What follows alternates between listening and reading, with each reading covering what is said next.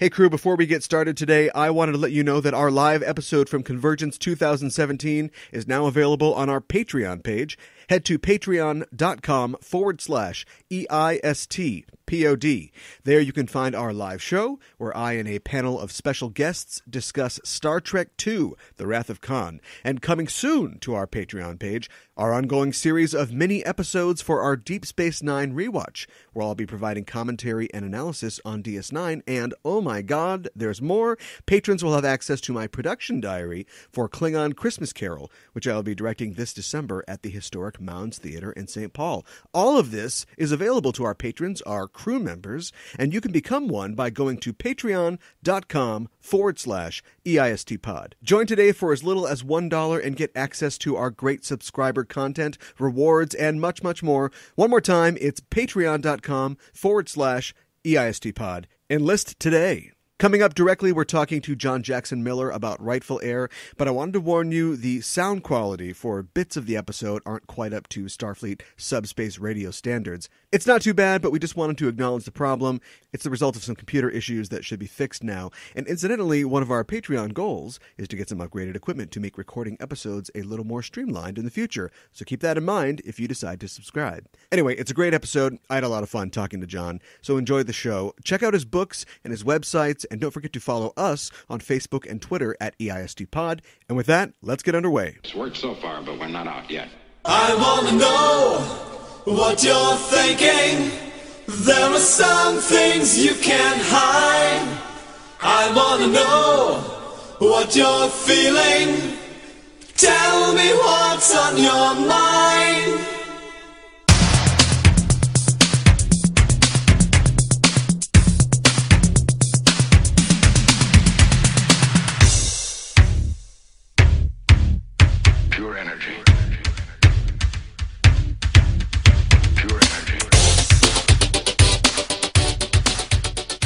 Hailing frequencies open, and welcome to Enterprising Individuals, the Star Trek discussion podcast that boldly goes into excruciating detail about the series, characters, and stories of the Star Trek universe. I'm your host, Caliban, and I would never ask the Almighty for his ID, but I wouldn't mind if he picked up a check once in a while. I'm joined on this episode by John Jackson Miller, the New York Times bestselling author of Kenobi, a Star Wars novel, as well as A New Dawn, the first Star Wars novel created in conjunction with the Lucasfilm Story Group. He's also the writer of 10 volumes of the Dark Horse Comics Knights of the Old Republic series and its follow up, Star Wars Knight Errant. His Star Trek work includes the Next Generation novel Takedown and the Star Trek Prey trilogy of novels. He was a former editor for Comics Buyer's Guide and its sister publications, Comics and Games Retailer and Scrye, and he's a commentator on comic book circulation history at his website, comichron.com. John, welcome to the show. Hey, glad to be here. Permission to come aboard granted. Today we'll be talking about Rightful Heir, the 23rd episode of the sixth season of Star Trek The Next Generation. It's a Klingon episode. It's possibly the most important Klingon episode of Next Gen because it pits the Klingons' deep seated spiritual and cultural beliefs against their society's fragile and contentious power structure. And we've talked about religion on this show before when we covered Who Mourns for Adonais. But Rightful Heir transplants the conspicuous self inspection of that episode from humanity to the Klingons as Worf contemplates the seeming truths of his people's oldest myths. But we will get to that a little later in the show. Right now, I want to know what's your backstory? How did you become a Star Trek fan? Uh, well, I certainly, you know, was born a little bit too late to watch the uh, episodes when they came out. Uh, you know, fun Sure. thing is, uh, the night that I was born was the night that they first aired the uh, episode "A Piece of the Action." Oh, okay, sure. That was uh, that was the one where uh, they, you know, eh, go to the uh, planet where it's all sets from uh, the Untouchables, which uh, you know on the other other other half of the Desilu lot. And so, uh, you know, I what I probably first saw Star Trek was the anime series. Uh, Oh, yeah. on, on Saturday mornings, and uh, yeah, then I would see the uh, you know, the local channel would have the uh, the reruns uh, on Saturday afternoons. Uh, Star Wars hit in uh, 1977, and uh, yeah, that kind of took over my life for the next few years. Certainly, uh, you know, was seeing uh, the other Star Trek stuff that was out there, uh, particularly when the you know the movies came around. Yeah. Uh, you know, I I had seen uh, the second and third movies uh, both on cable, uh, and know, particularly Star Trek three. Uh, know, I may be the one person who's more fond of three than than two, even though I understand. Okay. even though even though I understand that two is a better movie uh, Yeah. and a better Star Trek movie. uh, just some of the the themes that are in three uh, you know, resonated with me, which uh, is obvious because I ended up spending a lot of time on on Kruge in the uh, in the Prey trilogy.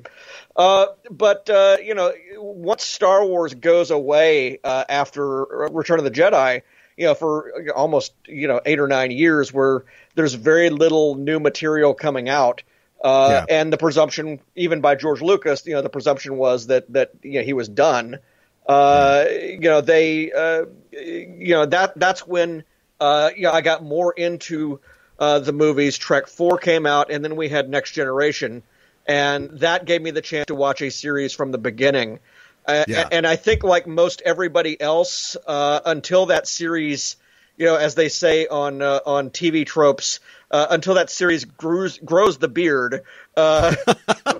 And and and we get into those later episodes. Uh, you know, really kind of the I think the the the the episode where I just sort of said, okay, yeah, we're we're cooking here. Um, is is not even.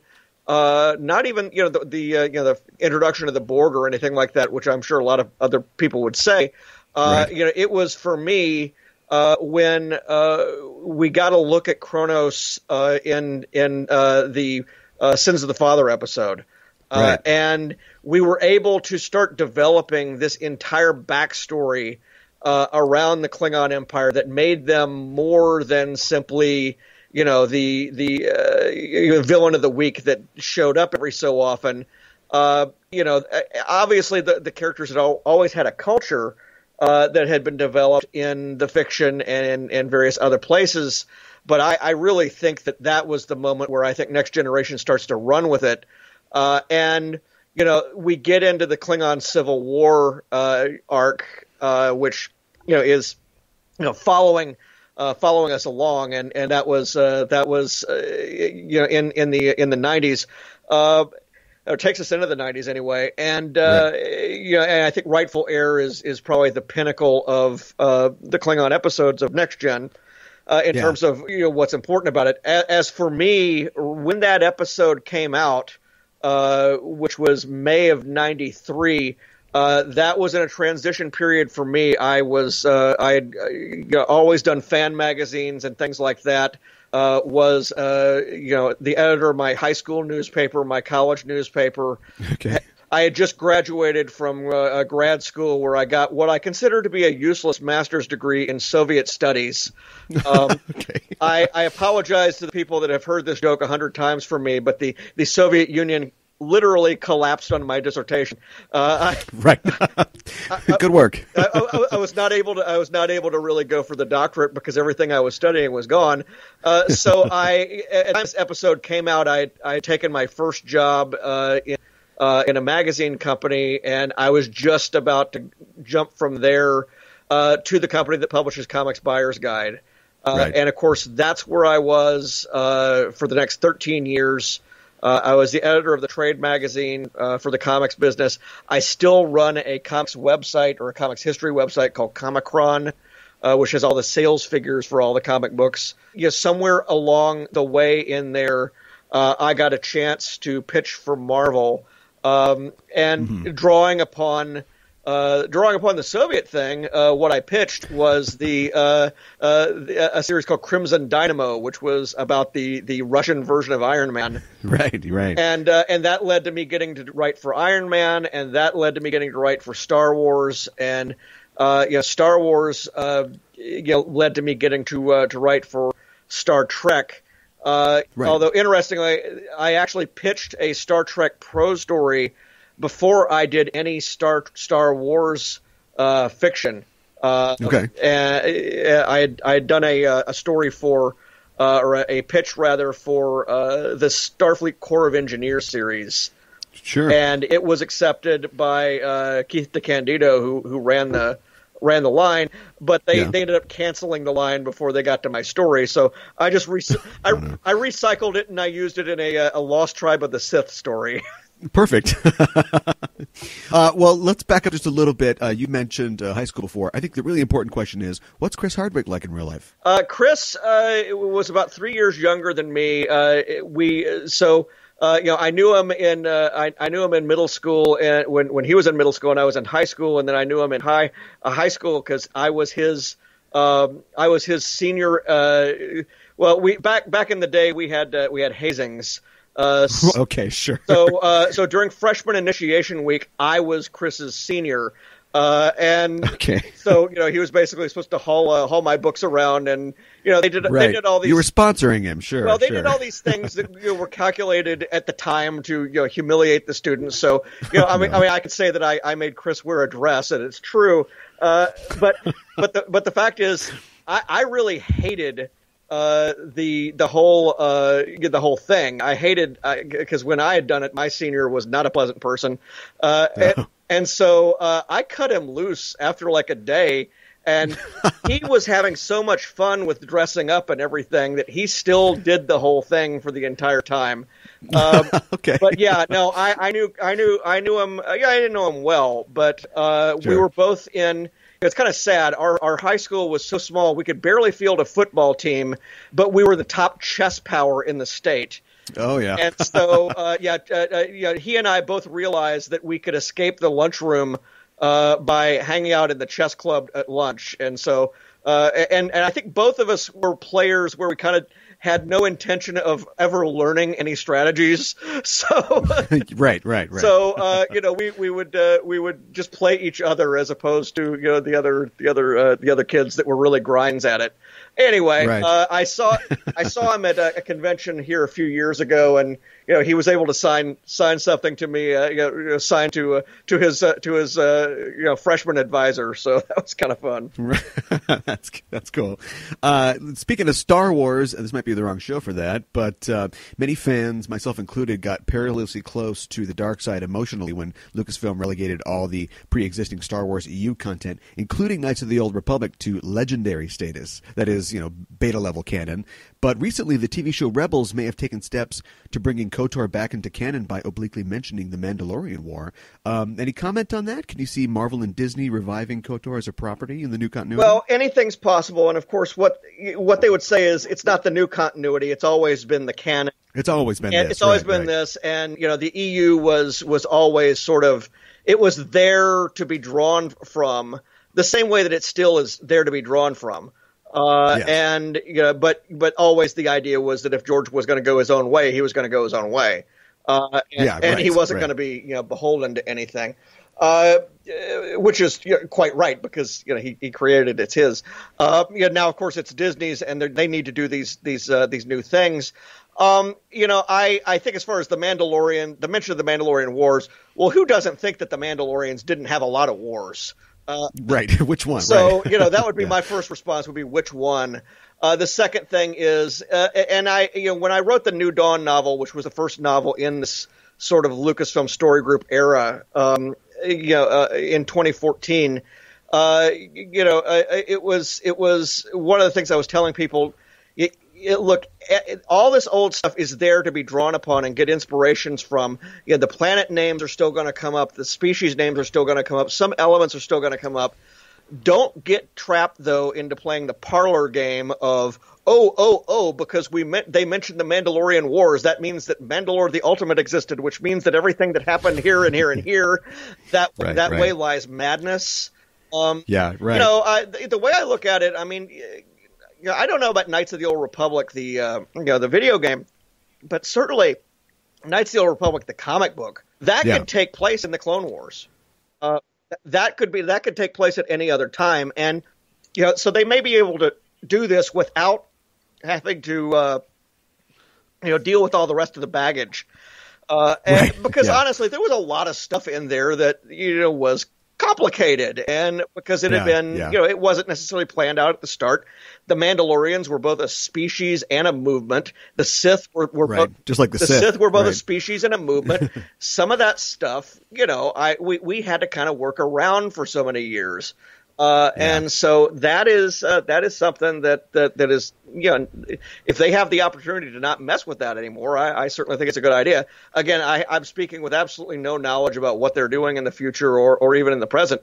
Uh, Sure. But you know they they have that option. Uh, you were an editor for Comics Buyer's Guide and Scrye, and I read your history uh, slash obituary, I guess, on Comichron.com uh, when they closed down, and it was fascinating, but it was a little sad too. It was a little sad to see uh, that go after so Oh yeah, years. yeah, and uh, yeah. In fact, I just had uh, lunch with Maggie Thompson yesterday, uh, and of Oh, course yeah. she's you know the Martha Washington of comics fandom.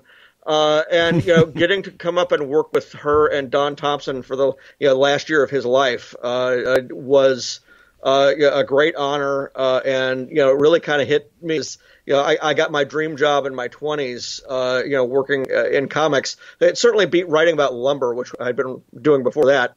Uh, but but then then you know getting to write comics, uh, you know Iron Man was you know, one of my one of my favorite comic series. Getting to write that right off the top, and then Star Wars, as well. So and and then getting to write novels. I I've had to keep coming up with new dream jobs because sure. You, you keep accomplishing. well, and, yes. and and you know, obviously there's a lot of work involved, but uh, eh, but Yeah. no, I mean, Comics Buyer's Guide.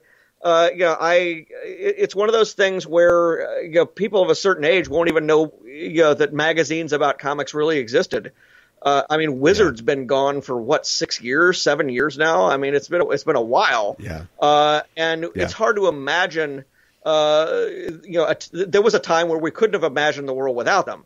Uh, and and so, uh, but it also kind of puts things into perspective. Uh, all yeah, all oh, those yeah. all those all those deadlines, you know, the weekly deadlines on Comics Buyer's Guide that we uh, you know, we're we're having to uh, contend with, uh, and every magazine feeling like it was so important uh, at, at the time, and you know that magazine, as my article says, it doesn't even exist digitally anywhere uh, because we didn't have Yeah. the rights uh, to anything. So, uh, you know, Mm-hmm. one of the things that I am doing though with Comichron, uh, and uh, that's where I just you know reposted that article uh, a couple of days ago uh, about the history of the magazine.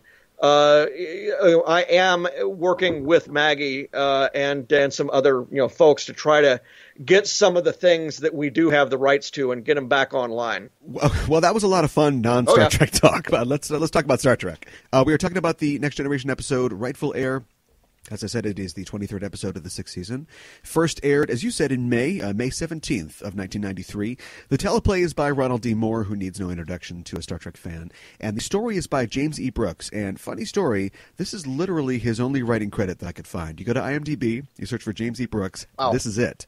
Uh, it's like he, he appeared like Wow. Kahless and handed the script to Ron D. Moore and disappeared. Well, and and that's interesting. And doesn't it doesn't it feel like a a, a story that a first time writer would pitch uh, to to It a does. series where you take an ancillary character uh, who's only been mentioned a few times uh, and Yes. uh, you build a bottle episode around him. Uh, and Right, yes, right. you know, one of the things that you'll note about the the episode uh, is, uh, well, first of all, I gotta say, if, if he didn't do any more, and, and maybe this is maybe this is the uh, you know the the scripter Ronald Moore involved here. There's no flab in this episode. There's nobody in this episode that doesn't have to be there. yeah, there's no B story. No B story. like There's that. nothing like that. So right away, that already feels like, uh, you know, it's it's it's something that maybe somebody came in from outside the writers' room, uh, you know, to to to contribute the story of. But then they were able Yeah. to work it into, uh, you know, some of the drama at the time.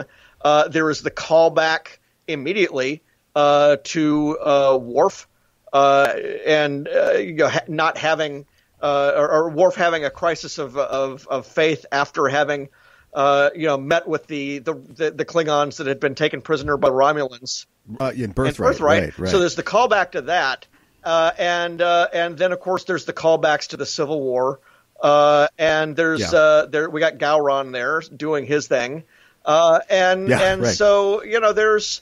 Uh, they they managed to you know fit it in continuity wise really well and uh, a- Yeah. again the story and I don't know if I'm assuming everybody knows the story but if, if they don't the the notion here is that they um, you know the the clerics of the the Boreth monastery uh, uh, cloned uh, Kahless uh, the unforgettable from from the, you know back in the day 1500 years earlier uh, and Right. they chose to have him present himself to, uh, you know, to Worf, who was there on a, a, a religious retreat uh, on this planet, and um, you know, Worf first you know is doubtful then he believes he's real then he realizes he's not real and then he has to be convinced that uh, no he actually has a purpose whether he's real or not that might even be my favorite scene might it might even be in the whole series because uh, you have uh, in that last uh, closing bit with Kahless speaking to Worf about Worf and his faith uh, you know, yeah. he's getting into something which is really kind of uh, uh, I thought at the time, wow, this is deep territory for a genre TV show. Um, Yeah. Because you know he he literally says, uh, and you can and immediately I thought, well, you could apply this to any religion on earth. Uh, Yes, well, well, and, and that's clearly the allegory here that Oh yeah. all of the return stories, all of the resurrection stories, all of the you know whatever they are, you know, what if the actual event doesn't matter? You know, what if what if Yeah. the rapture doesn't matter whether it happens or not? What if it what if the thing that matters is just how you act in your own and that is the line in the in the in the episode and i remember thinking at the time wow i mean this is this is this is a show about you know normally you know phasers shooting at shields and things like that uh, no right, weapon yeah. is fired in this entire episode uh, the Yeah. the only actual uh, there's there's no blood drawn uh, except whatever blood was created to well, there's some dried blood. yeah, whatever, Yeah. whatever, whatever blood was created, uh, used to create Kahless.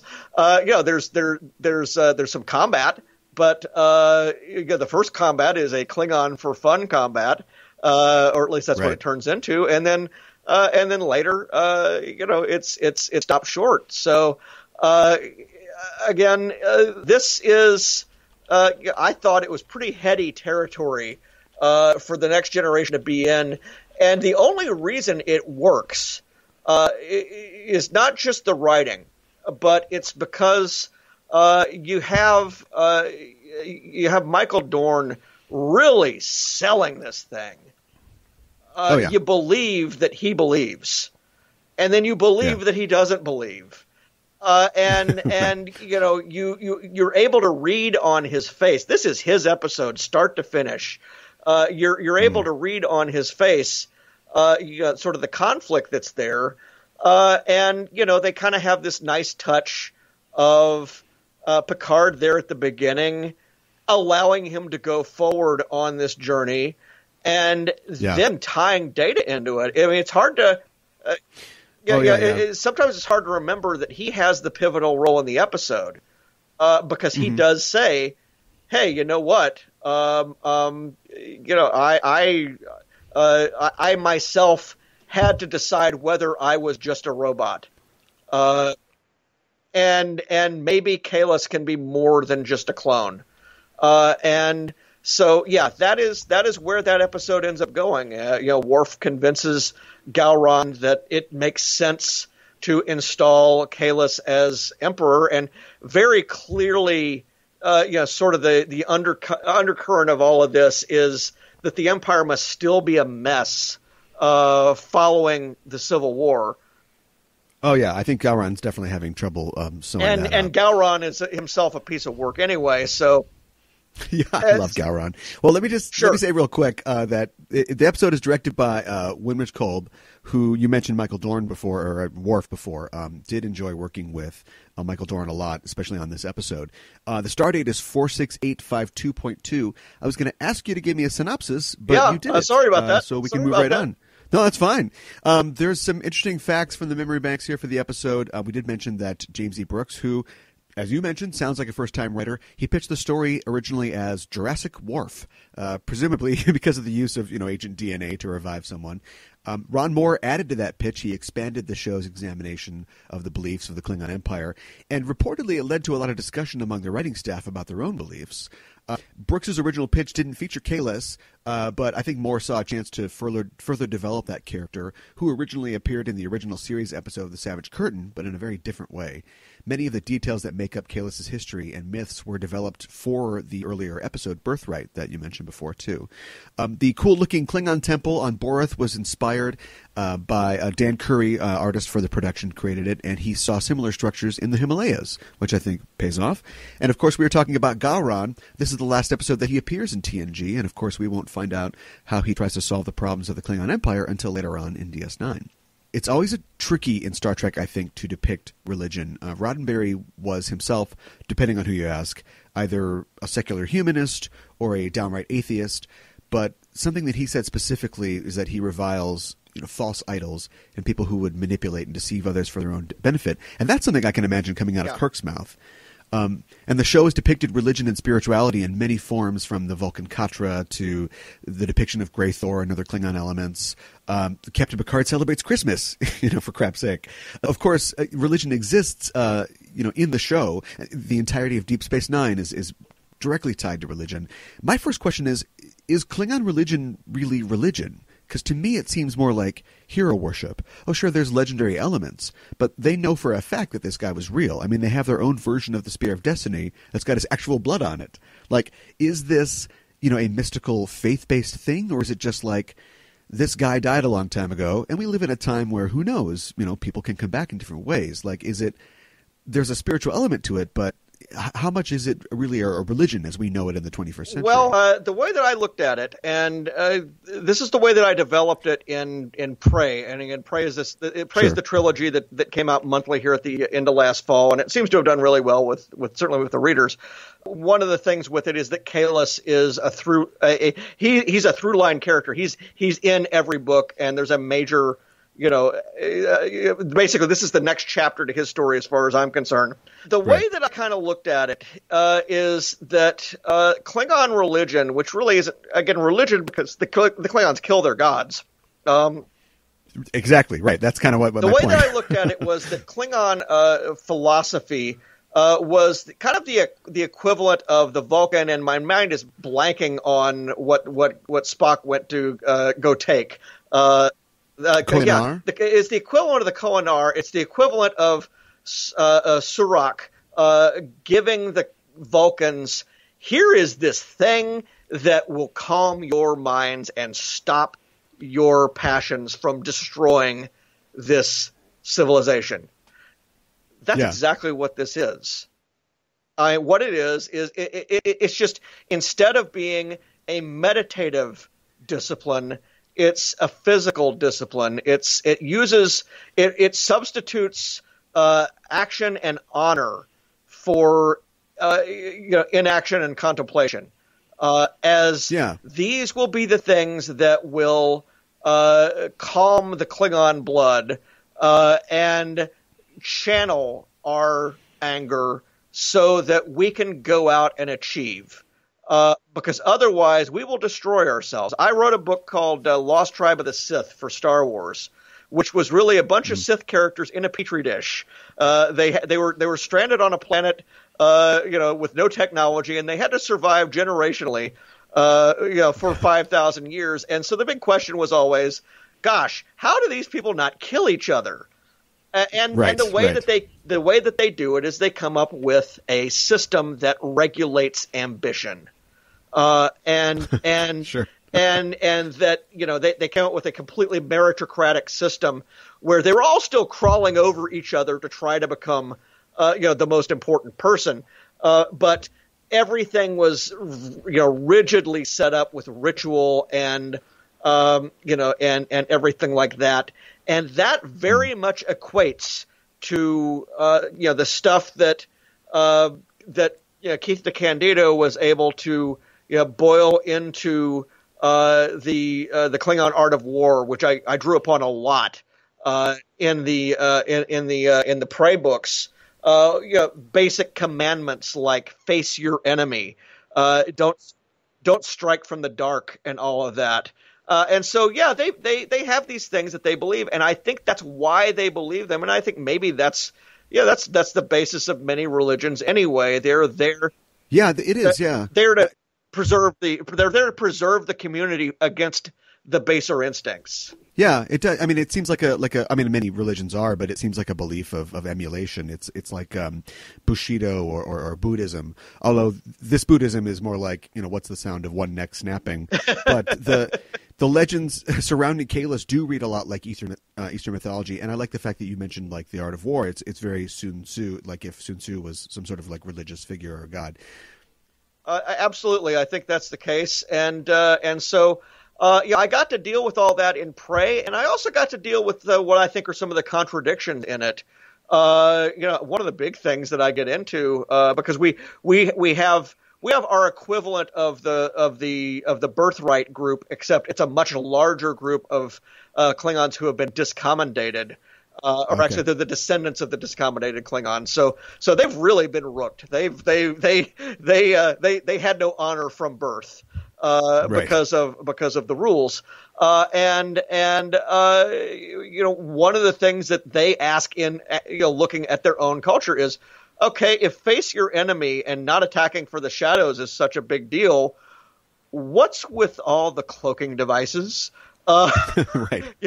what does all that mean? And you know, I, I got to kind of you know figure my way through that and uh, and and you know come up with a, a you know rationale for it uh, you know, they do announce themselves, or they do, you know, they do try to cloak before firing. Uh, you know, Chang is looked down upon because he he uh, you know he fired while cloaked.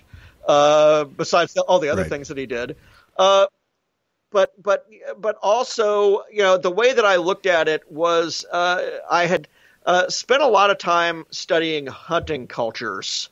Uh, in part because in the very, very, very beginning, uh, when I was proposing Prey, it wasn't going to be uh, the Klingons at all. It was going to be uh, as the as this this group of characters. Uh, it was going to be a group of hunters, and the hunters were those characters from uh, that episode, uh, which I believe is called Prey, or from right. from Deep Space Nine. where, you know, they live to hunt. And so one of the things that I realized just by studying them is that, well, uh, you know, where where where hunters would uh, look upon, uh, you know, not wanting to face your enemy as as necessary, uh, would be in terms of stalking, uh, in terms of creeping up on your prey, and then you show yourself and then you attack. Uh, oh, but sure. they would certainly use things like a hunting blind uh, to uh, or camouflage uh, to make their way there. Uh, and so, right. so I look for ways to try to finesse these things in in in uh, in Trek, uh, in in the Klingon you know mythos. to sort of say, okay, here's why they think this is okay and that is not. Uh, let's talk about the figure of Kahless, uh, played in this episode by Kevin Conway. Uh, he's an actor that people have probably seen him in something. I mean, he's been acting for a long time. Uh, fun fact: he actually took over from Vic Perrin, the voice of Control in the '90s revival of The Outer Limits. Oh yeah, and he was also the voice of the Sci-Fi Channel for a while. Yes, he was. Yeah, and you can really hear that when he talks in this episode. Uh, there's a lot of clear parallels in this story to the story of Christ, um, and I think that's intended. Uh, from political leaders doubting him, being afraid of his possible political influence, to you know, Kahless has sort of a John the Baptist in the form of Koroth. Um, you know, Worf even kind of plays the role of doubting Thomas or perhaps Peter. It's so similar, in fact, that Rick Berman actually asked Ron Moore to tone it down a bit because he thought it was, it was too on the nose. And there there are a lot of figures like this in in uh, sci-fi. It kind of reminds me of um, the Battlestar Galactica, the original series oh, yeah. uh, episode uh, War of the Gods, where Count Iblis comes in and he's performing miracles for the Quorum of Twelve, and there's a real kind of "Who do you say I am?" vibe going on. And this episode, it stops short of them crucifying Kahless or him performing any miracles. Yeah. Well, and of course, you know, look to nothing. Uh, if you want to look at look at on the nose religious stuff, uh, the original Battlestar Galactica is right there. Oh my gosh! Oh yeah, the, yeah, sure. The, the twelve, yeah. the, the, twelve tribes and everything. I mean, the, yeah, well, this is this is kind of what I was saying. Is you know the the the nuance. Uh, was not particularly uh, uh, very good uh, in you know TV science fiction. You know before a certain point, and right the fact that they you know Eh, I'm sure that they had to underplay some elements of this. Uh, I think one of the things that helped was that the humans are pretty much gone. Um, you have you have uh, Picard at the beginning. Uh, you yeah. you have Beverly showing up in the middle there somewhere. Uh, but you know, they don't do any. Um, ah, well, this is like what happened with the followers on Earth back in the whatever. Yeah, nobody yeah calls that out exactly. That would- uh, t- lampshades it as they say on TV. Well, I mean, that would be that would, but see, they wouldn't have done it like that. It would, it probably would have been done straight in a previous year, uh, Yeah. just to sort of say, this is what we are talking about, people. Uh, Right, this is yeah. what this is about, and and it would have been on the nose. And by making it purely a you know a Worf uh, and Kahless show, you know, I think that that that, that worked. Uh, I think one of the interesting choices is in the casting. Uh, you know, Kahless is the shortest person in the room. Uh, Right. And it, you know, enough to the point where I, I think I was you know, had I had to be reminded when I was doing the the story uh, for Prey uh, that you know we have him carrying a mek'leth instead of a bat'leth uh, be- because that's what they gave him. Uh, from what I'm told, uh, I, I can't tell one from another, but but supposedly what he I think that what he has in the combat scene is shorter than your usual uh, bat'leth. Uh, with the, the, the the scene with Worf. Uh, it's not a full length one because again he's uh, just a, his height. He's not a Michael Dorn. Yeah, and so, uh, but but you know they so you know he he doesn't look like um, well certainly not like the character from uh, from you know the original Star Trek, uh, but he also uh, you know doesn't have that sort of uh, you know necessarily what we would consider to be the radiant sun god look or something like that Right. Yeah. uh, of of somebody that you would set up to be, uh, you know, this otherworldly figure. He looks very earthy. Not maybe that's not the that's not the right word. He looks very real. He looks very much like somebody a Klingon would probably respect. Uh, and uh, you know, it's just you know he he's not uh, you know he's he's not. Uh, you know, this muscular, you know, uh, uh, warrior. This is this is not Conan the Barbarian here, Yeah, uh, and right. and of course it shows when he loses uh, his his combat. Yeah. So yeah. Uh, that's fun. That's interesting. And, but does he know what Warnog tastes like? That's the really important thing. here. oh yeah, Um, there's uh, there's a lot of Christ-like figures in sci-fi, and of course, you know, you mentioned he doesn't seem to be what they think he's going to be, which, if I remember my Bible correctly, is is uh, what they said about Christ as well. Um, and they're always used to to comment, or they're employed to comment on earthly religion. Um, previously, when we talked on the show about religion in the episode um, covering Who Mourns for Adonais, I mentioned the uh, Michael Moorcock novel "Behold the Man," which deals with something similar. What I like about this episode is that they, I think, they avoid slipping into that blatant social commentary. Um, Rick Berman's objections aside, by focusing on the Klingons and, like you said, leaving the humans out of it. And free of its religious trappings, I think it's a really good look at how a charismatic figure can really destabilize a society and sort of oh uh, that's tear down tear down the traditions or or you know um, throw the moneylenders out of the temple if well, you want that's to that's that's definitely the case that they're afraid of. Yeah. That they're afraid of that. Uh, and I draw upon that in Prey as well because I have a I have a cult and I have a charismatic figure in there, and I won't give away who it Sure. is. But the people who have read it, the people who read have read it know who that character is and why that character would have been seen as as a charismatic figure. Um, Yeah. Now, as far as as far as the message, I think what's nice about the message is it is additive. It does not actually say, "Oh, by the way, your savior, whoever he is in whatever religion it is, is not coming back, or was never real, or is never this." But you know, here's a way that we can interpret your religion so that it's okay for you and it's okay for me. Uh, yeah, yeah, exactly. and that's that that that is not something that people do a lot of.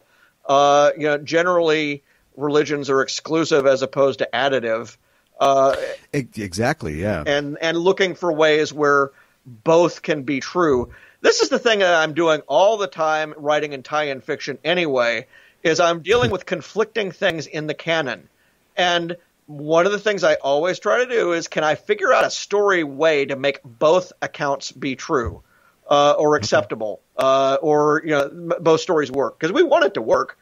so yeah, right, uh, right. and, and you know, it, and it's no mistake that, of course, the whole word canon comes in the beginning from religion. It it is it, right, exactly. it is it is us looking at these things, and in fact, uh, you know, with with a with the eye of you know someone trying to interpret the words of another. Uh, and uh, in fact, one of my favorite lines about uh, you know uh, comic book movies and uh, and you know movies like Lord of the Rings uh, from a film student friend of mine. Uh, he said that you know we don't we're not able to evaluate these movies as movies because we don't go to see them to see a movie. We go to see them to go to church. I, I see. To, Sure. to to hear the word of Tolkien uh, translated by another preacher uh, or Right. or watchman or whatever it is. Um, now that's that's what we're always doing. We're never actually saying, "Well, is this story working?" We're saying Yeah. we're saying, "Hey, did that happen in the comic book?" And uh, you know, I think that gets us confused sometimes. this episode really focuses on well clearly it focuses on Worf and I really like how he is in this case somebody who is uh, doubtful but it's merely to to test you know the the the um, the veracity of, of what's going on here. Like he is a believer. He's willing to go to the monastery. He prays for however long to see the vision but at the same time he's he's worried about the practical aspect of it. Like he wants to believe in a resurrected Kahless um, but it's the principles, like we said before, that he embodied. He wants those to return to Klingon society. It's not like he thinks that Kahless is going to come back on a cloud and smite the enemies and take them all to Sto-vo-kor. Instead, Kahless, in, in his mind, would be like the world's best motivational Yeah. speaker for the Klingons. Like, like if Tony Robbins was elected president and he had mad MMA skills, like he's going to turn things around for him. and, and that's in fact what he sets up. Uh, although, of course, again, Right, The exactly. interesting thing, again, though, is that that you know, at the end he's he's you know he's actually having done that he feels worse. Uh, and and, Right, yeah. and that's that's what's that's what I think is makes this episode really leap beyond. In addition to the themes and how they're handled, uh, that Yeah. Dorn uh, is a, he he is desperate to believe something. He's desperate. He's, he's yeah. This is a guy who's he's setting a fire in his room. he's setting, he's setting his quarters. He's setting his quarters on fire. He so much wants to, uh, and and why Right. the computer didn't tell anybody about that, I don't. Yeah, that's fine. I- he's the security officer. He can turn that off. uh, Probably. you know, I, I did find it interesting that Riker goes down to the. Uh, uh, Riker goes down to his uh, his uh, his room with a- with a you know, with a security team just because he's late. Uh, right, right. Something's wrong. yeah, I, right. maybe we need a line in there saying uh, there's a fire in the deck or something like that. Anyway, uh, but but yeah, I mean, Worf, uh, you know, very much wants to believe, and I I guess I think it all comes from, uh, you know, his abandonment, uh, you know, the loss of his parents and and having, uh, you know, been raised uh, away from the Empire and you know having uh, you know had this this war to be accepted. Uh, Yeah. you know, discommendation is a huge theme in uh, in uh, the Prey trilogy uh, because again, I look at that and how I think that practice too can be at odds with what Kahless would have wanted, uh, based on his own things that he taught, uh, and and so um, you know, Worf is is is sort of our person in the Prey novels who's going along saying. Uh, yeah, but here's the downside to this particular belief because I've I've I've lived it. Uh, but yeah, clearly because he had just come through that that uh, that event very recently, uh, you know, just in the last. Uh, this is season six, so uh, Yes. yeah, so I'm you know he's he he's undiscommendated, uh, uh, and boy, that's a word that your spell check doesn't know. sure. Uh, I found that out. Uh, you know, that happens, I think, the beginning season five. So he hasn't had a heck of a long time uh, to uh, you know be a Klingon that other people wanted to look at, uh, and uh, literally uh, because he, he kind of was on this this this uh, uh, he was this non person. Um, Yeah. You know, I, I think that he is probably at this point very disappointed by his culture uh, and what it did to him, uh, and he's trying to uh, get back on the horse and win it back, and that's where birthright comes in, uh, because Yeah. birthright, uh, you know, sort of teaches him uh, or gets him back on the path, but he's still he's still trying to get there, and this episode maybe brings him somewhat closer. Um, you know, I, I, I do like to think that Prey, uh, if not closes the circle, at least allows Worf to uh, become at become at peace or feel like he has done something uh, to um, make discommendation better for other people who might not necessarily deserve it. Uh, because certainly his son would not have deserved it. Do you and don't spoil your books here, but I mean there there is a um, there is a conspiracy going on here. I mean Koroth and, and who knows who else um, has done this for a reason at a certain time. Do you think they picked Worf for that reason because he has a foot in two worlds? Because he, I mean, he has a you know brother on the council and everything, but he is somebody who would be receptive to this. To use another sort of religious uh, parallel. Like he is the sort of Saul of Tarsus, you know, on the road here. He's the guy that we can get and we can convert, and he's in the right spot to really spread the word here. Uh, I think I think Worf uh, was uh, uh, uh, you know what as long as we're talking about TV tropes, I, I, I think he was a fridge genius moment for them. Uh, Okay, because sure. because I don't think that they intended for him to be the one. Um, if you Did they intend for it to be the uh, the Doug Henning looking yeah, other yeah, guy? The because look- because the other guy is the guy I believe the other guy is the guy that had the vision uh, Right. in front of the others, and I think probably they were setting that character up, uh, or you could read it as you know, well, if Worf hadn't been there, this kid would have been their uh, their figure because he would have already had the moment where he saw Kahless, and now here he has the moment where he sees Kahless and he shows up, and Right. the kid already has credibility with the other monks who are not in on it uh, Right. because because he's they've seen him do this, uh, and I think I think Worf was kind of a, a bonus because they would have had no notion that he was going to come there.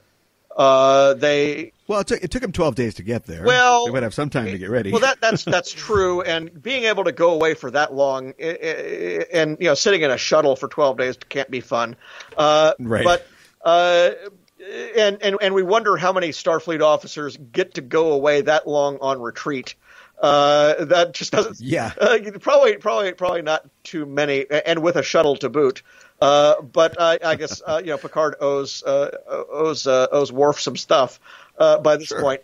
Uh, yeah, I think that I think that uh, no, they they just story logic wise, um, they might have been looking for their patsy at this point, uh, but I, I don't necessarily think.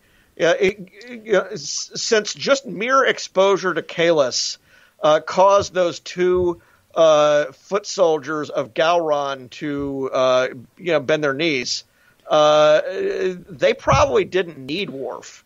They, pro- Yeah. they probably would have they probably would have taken anybody, but they probably might have thought, well, hey, Worf's a hero.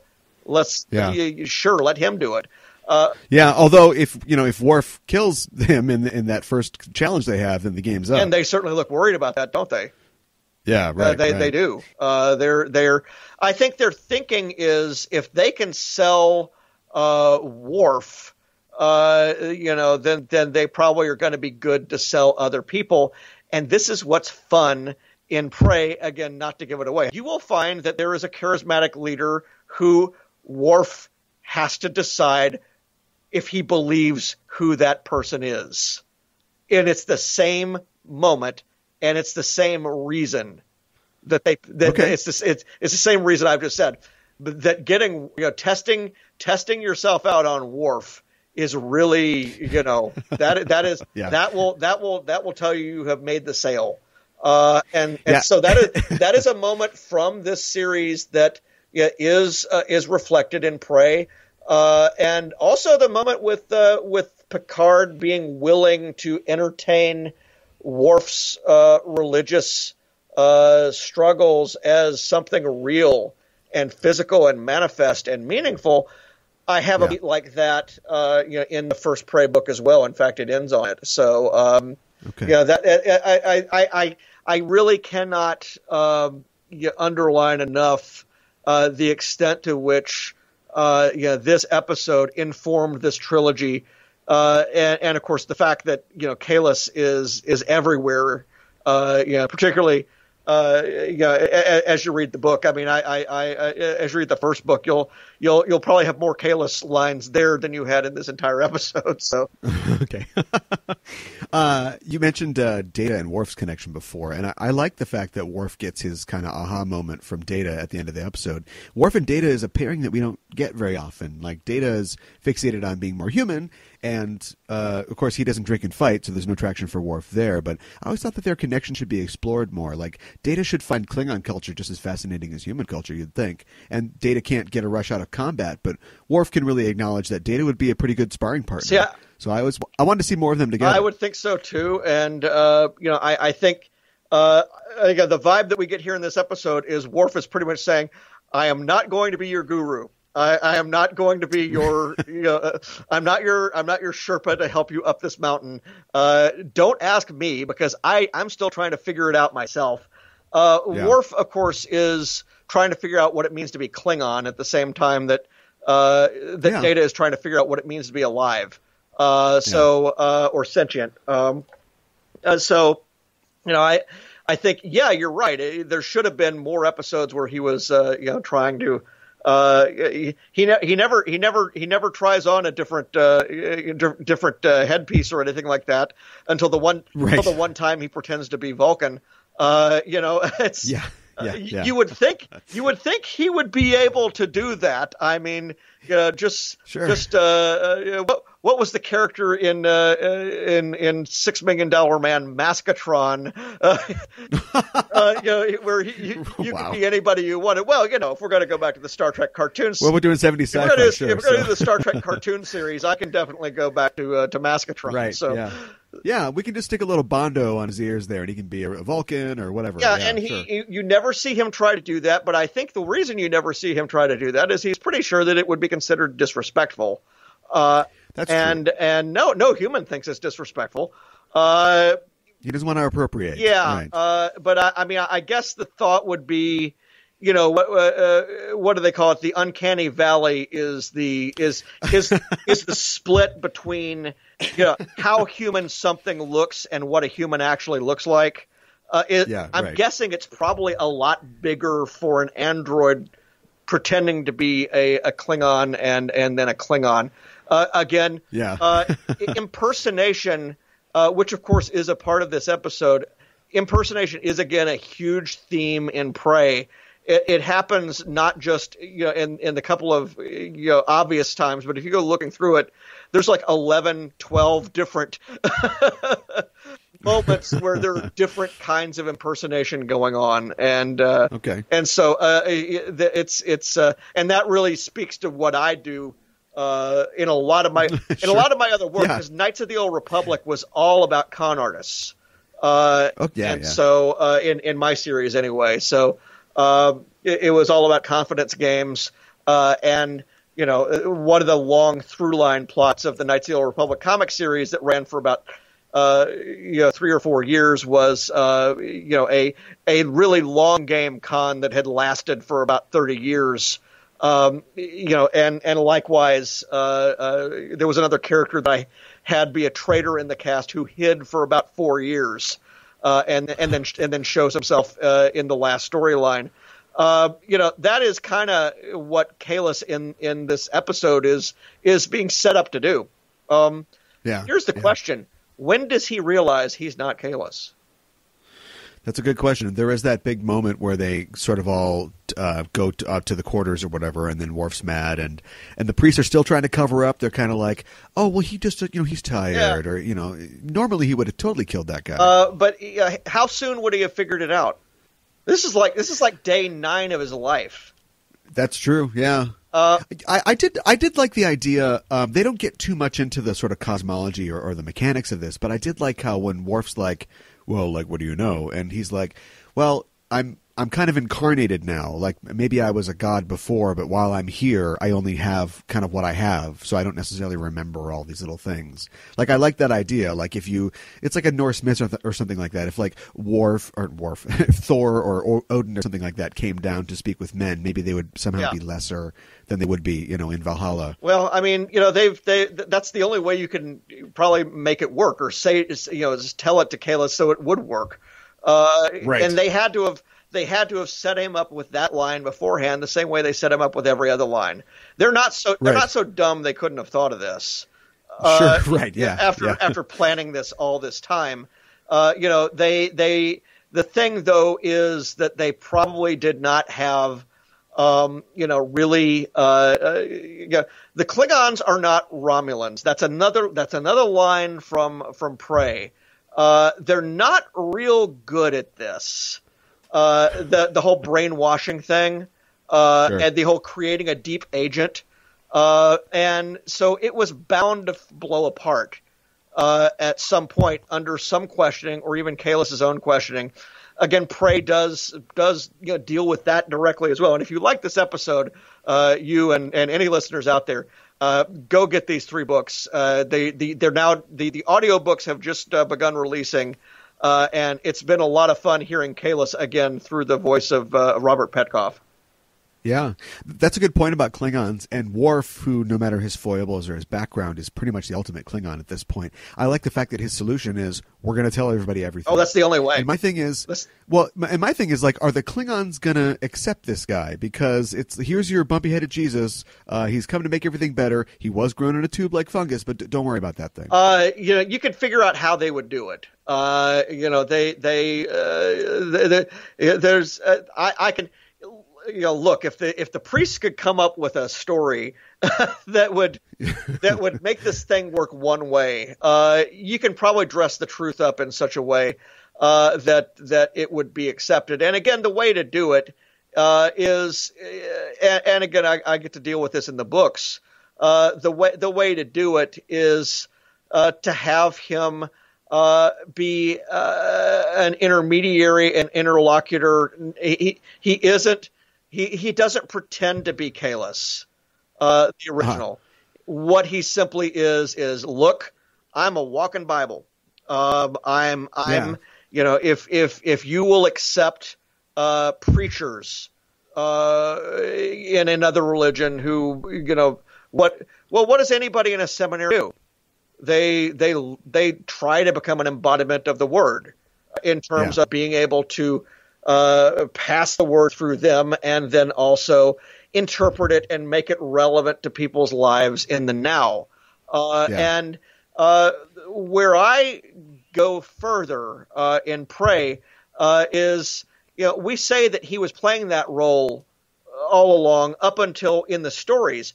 Now, now what happened was that there was there was a there was a novel called Kahless that that uh, that Friedman did, which was a Kahless adventure that sort of implied that he wasn't even really the real Kahless's uh, uh, clone. Uh, that that came out in the '90s. Uh, and and uh, uh, then they did a number of you know minor appearances, and then they sent him into retirement, uh, where he said, you know, now that Martok is in charge, uh, the the the the the empire has found honor again, uh, and uh, Kahless literally goes off to a Federation garden planet to paint pretty pictures. That's that's what he does to find himself. Uh, Right. I bring him out of retirement, uh, and and you know we we begin what I what I what I look at him as, and this again getting into religion uh, and the Jedi. Uh, is I, I begin to have him realize that his function is not simply to uh, parrot the words of of Kahless, uh, but uh, you know what I, I don't have a lot of favorite moments in uh, the the uh, the Attack of the Clones movie. Uh, I think you know, maybe a lot of people don't have a lot of favorite moments in there. But my favorite moment, in fact, in the entire uh, uh, the entire uh, prequel trilogy, probably, is when Obi Wan Kenobi, and of course I've, I've written a lot with about Obi Wan. Uh, Obi Wan conf- uh, is confronted by uh, you know that that uh, that Jon Cryer looking alien that is is is in the bar who says, "You want to buy some death sticks?" And he says, Right. "You don't want to buy. You don't want to sell me death sticks. You want to go home and think about your life." right. Now, here's the thing. That's a one-off moment. It's a beat. It's a joke. There's not enough jokes in the prequel trilogy. Go home, Ducky. Go home, Yeah. Ducky. Yes, exactly. There- there- there's there's there's not enough of that in the prequel trilogy, so that was welcome right there already. But it's extremely important. In fact, I've written about this in Star Wars Magazine. The reason it's so important is it shows the Jedi doing what they're supposed to do, yeah, besides fight Sith. Yeah, right. Besides be the free the freebie police force that the, the Republic gets. They're supposed to minister. They're supposed to actually be sort of the circuit riders, so to speak, uh, for the Force. Uh, Right. And you know, it must have happened. Uh, and and the folks at Lucasfilm know it must have happened because why else do you get the character in Rogue One who is not a Jedi but believes? But he's literally yeah, right, exactly. You know why? Yeah. Why why would you have that? So um, you know, obviously, the Jedi feel that the the the the the, the, the light side of the of the Force is enhanced by telling people to do good, uh, or by solving conflicts. Uh, and Yeah. and uh, you know, peace, peace is you know the word peace is literally in uh, in their mantra that uh, that was created for them for the role playing game. Well, Yeah. I, I think that that is kind of what, uh, and again, not to give too much away, but yeah, that's what Kahless I think needs to uh, d- discover is uh, he's got to be uh, he's he's not there to lead the empire. Uh, he's not there necessarily to just be a scold and say uh, you're you're not acting right or anything like that. Uh, Right. He's he's, he's got to kind of show them uh, a- and show them in a non-threatening way that is not uh, going to make the chancellor feel imperiled. Uh, Right, What right. what he needs to do is go counsel the weakest. Uh, and in this case, Worf was one of the weakest because his faith was failing. Yeah, at this point that's true. Yeah. I really appreciate getting to talk about this. I had gotten a, uh, I, I did a Star a Star Trek uh, dot com blog post about Kahless and the question of who he was and why that was central to uh, to my trilogy. But really, I think it, it is it is uh, you know one of the one of the I think major. Uh, themes in the book, and, and it it does come from this episode, so I'm I'm happy to be able to talk about it. You mentioned humor and levity before. Um, this episode isn't a barrel of laughs, but there are a few good moments. Um, I really like the uh, part where Gowron is confronting Kahless, and Kahless is uh, Gowron is sort of playing the Pharisee of sorts, and Kahless is telling him the parable of the guy that spit into the wind or whatever, and Gowron's like, "What color were his eyes?" and that's that's the don't ask the Almighty for his ID moment. Like that's Jesus is, is telling the parable of the virgins, and if you're Thomas, you don't say like, "Yeah, but were the virgins hot?" Like you don't you don't don't challenge your religious figure. But uh, but Star Trek has already gone here. What does God need with a starship? That's uh, that's that's one of the funny beats uh, that uh, in that movie. But uh, but of course, you know they they were doing that all the time, questioning uh, uh, questioning the would be deities back in the original series. Yeah, I also like that you know Robert O'Reilly as Gowron gets to del- deliver that line, and of course he's very famous for his eyes, and I feel like he kind of bugs him out a little when he asks that too, like his eyes. I don't know how they do that. I mean, that the the the, the, the, eyes going that way, and some of the makeup because they yeah they were the the the, the, the it, they're in extreme close up in so many shots in this episode. Yeah, it looks great. and and and you know the uh, you know the remastered uh, you know episodes uh, you know for because again I, I I watched this again on uh, on Netflix. Uh, you know it's it's I, I was catching a lot of little you know, nuance that uh, I didn't see before. Uh, and I, I also really like that moment with Kahless in the tricorder where he's he doesn't immediately go to you were doubting me you you scum he's like yeah okay go ahead sure, yeah, that's the touch touch the holes in my hands. Uh, moment Yeah, there. yeah. I mean, because he doesn't doubt. Uh, not yet. It'll be a few days. Right. Right. Well, as we uh, wrap up here, did you have any uh, last thoughts, any parting shots about this episode? Uh, just that, yeah. As I said, I, I think it is it, it it's a great episode. I think it is it, it is certainly the best Klingon episode uh, uh, of of well, I would say almost any of the any of the series in terms of just Klingon centric. Uh, you know, the, the culture and everything else. Uh, Maybe you know, just nudging a, a bit ahead of uh, of uh, Sins of the Father. Uh, in terms uh, on, uh, because it's a complete story. It's a beginning, Yeah. a middle, and an ending. Uh, but it is also the kind of story that you can only tell in season six. Uh, that you can only do, uh, you know, because uh, you know you've built up Worf as uh, a sympathetic character who we really care about uh, his spiritual uh, situation. Uh, Yeah. and it only works because we have established what the civil situation is in Klingon society to this point. Um, You know, the only flaw, uh, if if there is one, I would say, uh, of being a bottle episode, uh, is that you don't see. You know, this, this doesn't take place um, you know, on. Uh, you know, they don't go to Kronos for this. Uh, Yeah, right. or they don't even beam down. They don't even beam down to Boreth, uh, you know, a planet that presumably has Klingons living on it, uh, to have to have their uh, you know their scenes. They're done on the holodeck. Uh, uh, Yeah, right. you yeah. know, and because they, that that if, if they did that and they actually had a little, if you had more money uh, and and you had you and you had the time, you would have had that final, uh, you know, that that scene where uh, you know Gowron is confronting Kahless. You would have had it in a in a uh, a public setting uh, on Boreth where lots of people have come there, and Yeah. you would be able to show lots of people still hang around outside. That way, it wasn't just the two guys.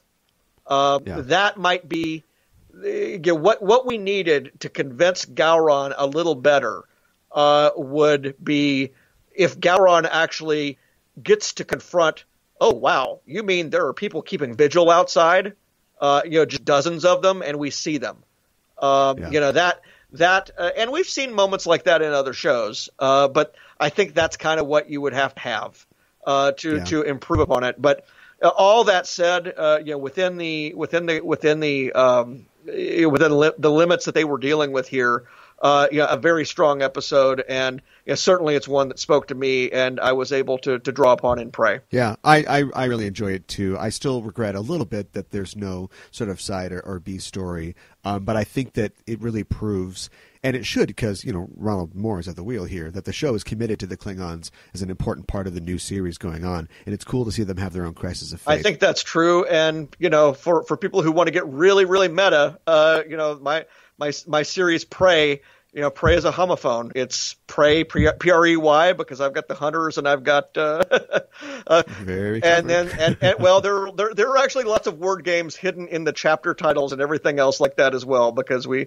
we have a lot of magicians in our book too. Uh, so uh, oh yeah, oh yeah, we the that that's one of the other elements is I deal with the the theme of illusionists in Star Trek, and there are certainly a lot of those. Uh, but but yes, uh, you know, you've got Prey one way and you've got Prey the other way, and of course, I'm glad that people were able to read the book because when we were writing it. Uh, or when I was writing it, that you know, our joke in the house here was uh, Star Trek. Pray that it's on time. Uh, Uh, well, speaking of uh, new series and speaking of the Klingons, are you looking forward to Discovery? I, I am, and you know, I'm trying to stay away from some of these spoilers that are out there because I, Yeah. I don't want to, you know, be, you know, have have the have my uh, uh, expectations uh, fouled up by, you know, they they, they are those really Klingons that we're seeing in the in that in that screen cap or not? Uh, Right. You know, I don't know. Uh, I I tend to try to avoid spoiling anything for myself that I don't need to know about uh, for for writing something. So, uh, yeah, excited to see it. Uh, I'll be interested. Uh, you know, I'm I'm delighted that they're keeping within the original CBS continuity, uh, Yeah. and uh, you know, that's I think very important. And uh, you know, it it means that it all still matters. And you know, honestly, if there had been a way to do it in Star Wars, uh, I know they would have done it. Uh, it's just you know, st- uh, you know Star Wars. Uh, the, the problem was all the good moments had really been used up uh, in terms of what happens to Han and Luke and Leia after they grow up. Let's talk. My space dad can beat up your space dad. Who's your favorite captain and why? Oh wow, favorite captain. Well, I, I've written I've written Picard the most, uh, so yeah, certainly he's got uh, the most layers to him, uh, and and he's a lot of a lot of fun. I've been needing needing to go back and do a deep dive again into uh, into uh, Deep Space Nine. Uh, you know, I saw them when they were out, but uh, you know, it's been it's been a long time since, and certainly, you know, that's one where you kind of need to watch them in order. Uh, Yeah, you do. I, yeah. I'm seeing Voyager again now for the first time since it was out. Now that BBC is running it, uh, BBC America, uh, and and those are, are, are fun. And I'm, I'm uh, since Tuvok is one of the major characters in Prey. Uh, uh, you know that that's you know that's uh, you know that's that's that's kind of fun to see as well. Uh, so, uh, so yeah, I, I, I, guess I would suppose. Well, you know, Riker's a captain. Does Riker count? Possibly, oh yeah, sure, well, no, yes. Riker. You know, my first novel was uh, well, my Titan, was yeah. well, my, was uh, my first novella was Titan, and then my first novel was Takedown, uh, which Uh-huh. is a Riker story, uh, front front Uh-huh. to back. So uh, you know, Yeah. that that would be that would be where I would probably go on that one. Now that we've reached the end of the show, you'll receive a commission at the rank of ensign. What department on the ship do you work in? Oh wow. Uh, I, I would probably be uh, an archivist because uh, 20, 20th century Russian uh, well, studies. or you know, or comic book circulation history or something oh, like sure. that. There you go. Uh, yeah, uh, you know the, the the the the sort of person where you know, uh, yeah, that's that's on Memory Alpha, but you're just looking in the wrong place. Uh, Okay. Yeah, I, I, I'm guessing. Uh, anything that that means I will not get called down to the surface that would make me happy. I see. Uh, sure, so sure. th- that would that would probably be my role. Uh, they never bring the archivist with the with the away team. Right. Uh, digital comics have to look pretty good on a pad, I'd imagine. Well, yeah, I, I and digital comics didn't look good at all until we got the pad, uh, the the Right. iPad. Uh, that's uh, that's uh, that I think that's that's kind of humorous as well. Uh, although although I will say, and again, this is this is with my comic book history hat on. The the week that the iPad was released and suddenly made digital comics worth reading, uh, the number one comic book in America is a book that still can't be reproduced worth a darn on an iPad uh, or a tablet. Uh, that was the final issue of DC's Blackest Night, which was the Green Lantern uh, storyline, which had a double gatefold interior center spread.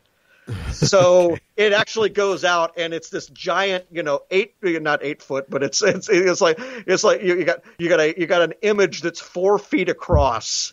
Uh, Right, right. You still can't do that. So Right. so you know, paper is still important, and and and we we still got it. Ensign Miller, thanks for joining me to talk about Star Trek and the Star Trek universe. If people want to continue the conversation, and they can at, at EISTPod on Twitter and the Enterprising Individuals Facebook page, where can people find you online? Uh, they can find me on my uh, my comics and fiction website uh, at uh, farawaypress.com. I have essays, behind the scene essays on all the books that I've ever done, uh, with the exception of Prey, which I still have to get around to putting up.